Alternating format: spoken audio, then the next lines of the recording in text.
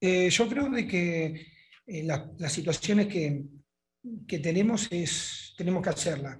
Hay jugadores que realmente no están a la altura de las circunstancias y tendremos que tomar decisiones, porque acá somos todos iguales, no la directiva y el cuerpo técnico, los jugadores también son los que entran a la cancha, así que eh, uno está para eso.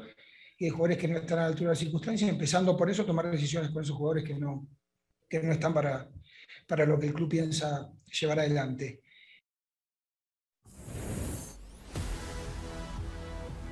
Bueno, Pumas, después de la derrota de dos goles por uno frente al Toluca ayer en la, en bombonera del estadio Nemesio 10, iba ganando Pumas, vino la expulsión de Mozo y después fue un partido demasiado cuesta arriba para el conjunto universitario. Gran actuación de Rubén Zambuesa, Roberto, que eh, sigue pareciendo un jugador mucho más joven de lo que dice su acta de nacimiento, ¿no? Increíble lo de Zambuesa, e, ejemplar en serio. No sé no sé si haya quien se le compare en el fútbol mexicano si consideramos ese lapso de los 14 años que ha jugado. O sea, hablamos de, podemos hablar en los últimos 6 o 7 de Gignac o Funes Mori o algún otro, pero en, el lapso que lleva Zambuesa, yo creo que es el mejor jugador en el fútbol mexicano desde hace buen rato. Y es increíble porque parecía ya que se acababa su carrera y del torneo pasado y este demuestra que tiene todavía mucho para dar, siempre asumir la responsabilidad de que los ataques pasen por él, pelear con todo por la pelota. Creo que últimamente, no sé si porque ya no tiene la misma potencia, ¿no? Pero ya, ya ha sabido encauzar más esos ímpetus porque hay que recordar cómo se excedía a veces en la lucha por la pelota, de meter la pierna a veces tardía y llevarse algunas tarjetas. Es un ejemplo habilidoso, talentoso, él tiene que ver en los dos goles, bueno, no el primero y genera el segundo.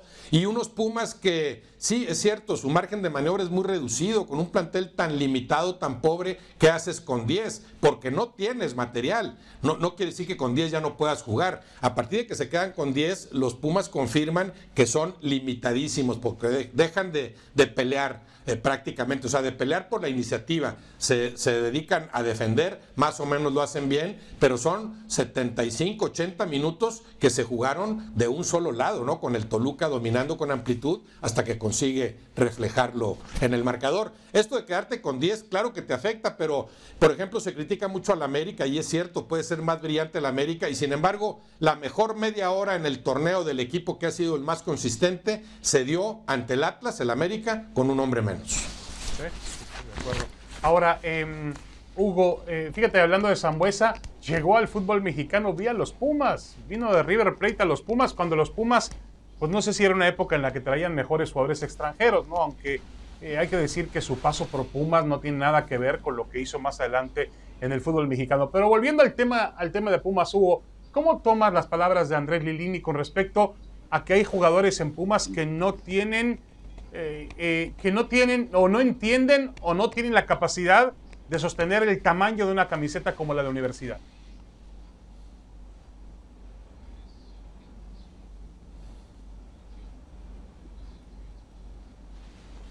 Y realmente no me agradaron. No me agradaron porque él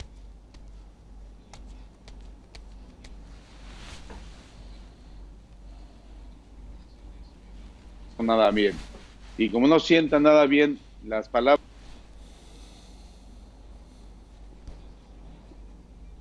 Bueno, tenemos unos problemas con Hugo, vamos a recuperar enseguida el contacto con Hugo Sánchez. A ver, José Ramón, ¿tú cómo entiendes lo que dice Andrés Lilini? ¿Qué, qué significa esto para, para Pumas, José Ramón? ¿Y qué puede significar ahora en esta relación con los jugadores, que a veces es muy delicada, ¿no? Significa una llamada de atención seria severa por parte del técnico Lidini eh, ante la reacción de algunos jugadores de Pumas. No, no dice nombres, pero sabemos a quién se refiere. Se refiere a Lamoso, que comete un error gravísimo al minuto 14 tirando una patada en una jugada intrascendente. Tira una patada a un jugador, se va expulsado. García, que también se va expulsado porque jugó con nueve hombres. bueno, ese muchacho García, José Ramón, bueno, entró y no tocó el balón y lo amonestaron. Lo amonestaron y a la siguiente jugada lo echaron para mí muy, muy estricta, muy estricta la expulsión, pero bueno, eh, cuando después Dinero va y reclama al árbitro y al comisario y fuera también. En fin, para Pumas va a ser muy difícil el partido, le viene eh, Chivas y para sustituir, lo decía Roberto, para en un equipo tan pequeño como Pumas, pequeño en cuanto a jugadores, tan limitado futbolísticamente, con poco talento en la banca, con poco talento en la cancha, muy limitado, con cualquier cantidad de jugadores fuera del plantel, vendidos o que han pasado y no, no ha sucedido nada, con jugadores extranjeros nuevos, pues Pumas está sufriendo y Lilini por eso sale frustrado. Estas son declaraciones frustradas de Lilini. No es que quiera echar la culpa al vestidor y a los jugadores, pero los jugadores son los que salen en la cancha y los que cometen esos errores. Él no le dice a Mozo, oye Mozo, cuando vayamos ganando 1-0 en Toluca, al minuto 14, tírale una patada a un jugador de Toluca. No, por supuesto que no. Alan Mozo, que es un buen jugador, que se perdió la Olímpica por este tipo de problemas, mete en problemas otra vez a Pumas, lo deja jugando con un hombre menos en Toluca, en la bombonera, en la cancha de Toluca, que es muy difícil, y con Zambuesa en gran momento. Y pierde finalmente Pumas por dos goles a uno. Una tristeza para el equipo Puma que no tiene los jugadores, por ejemplo, que tiene el Guadalajara, mucho mejor equipo.